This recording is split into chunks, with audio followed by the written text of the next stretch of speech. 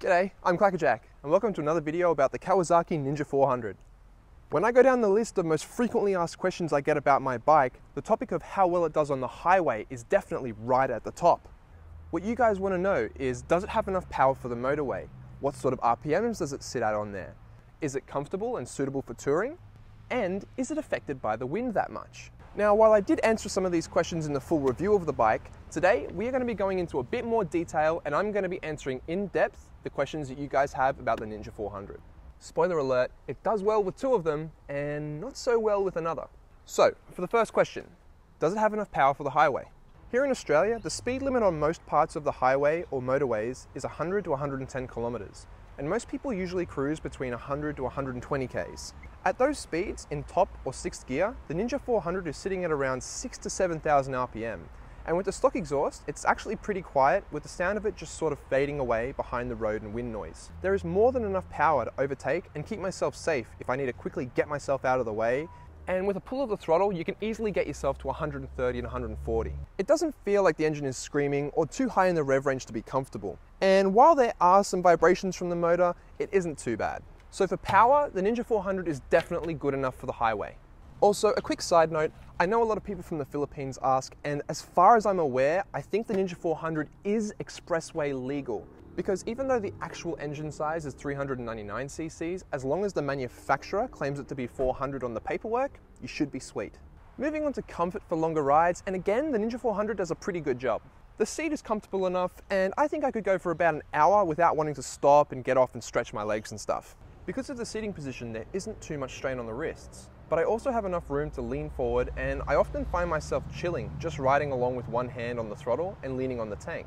And again, as for vibrations, it isn't too bad at regular highway speeds. I've ridden on bikes where the handle pegs and seat have shaken me up like a can of Coke, and thankfully this isn't the case for the Ninja. The mirrors also remain stable while you're riding and you can see clearly through them, which wasn't the case for the bigger Z650 that I rode on, which just sort of buzzed all over the place. If you've watched my videos discussing seat height and ergonomics, you'd know that for someone of my height, the wind also seems to hit around mid-helmet. And when on the highway, that does mean that you get a bit of helmet turbulence. Thankfully, there is enough room on the seat to scooch back a little bit and duck down to get out of that wind. If you're looking to do a lot of highway miles on the Ninja 400, I think you could do it stock.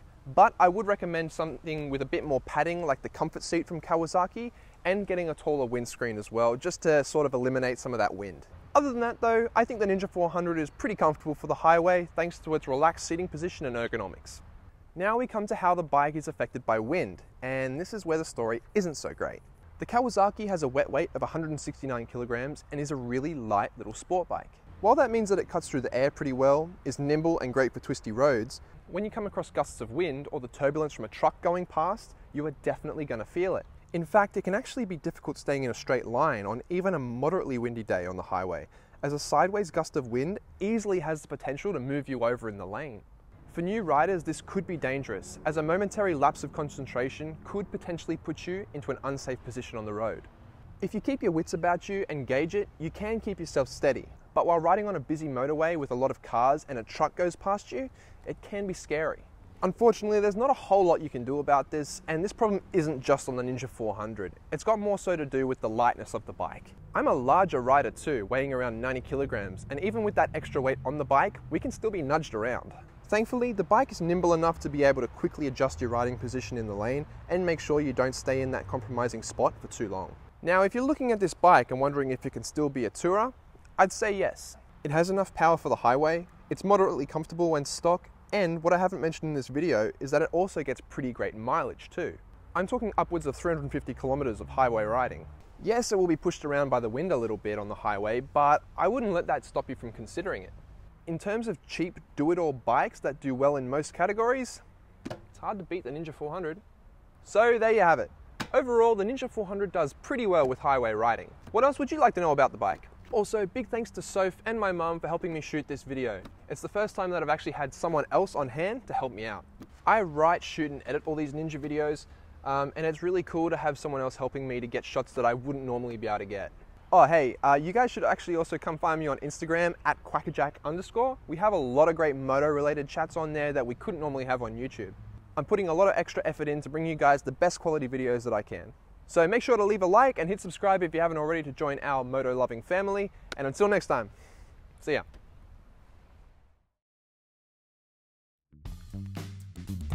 Smell fish and chips.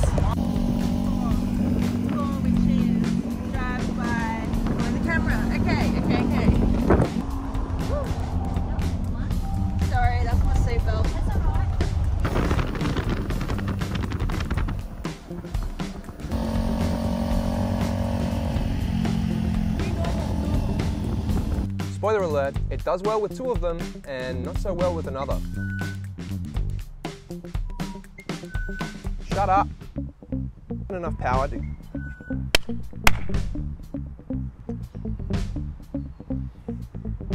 Power to overtake and keep myself safe. Oh my god, shut the hell up. Scream. Jesus. Got attacked by a flying freaking lorikeet. Oh, go away. It's gonna be one of those videos. Because of the seating position, there isn't.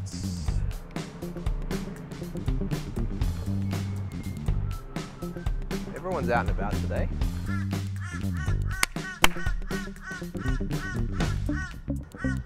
Shut up!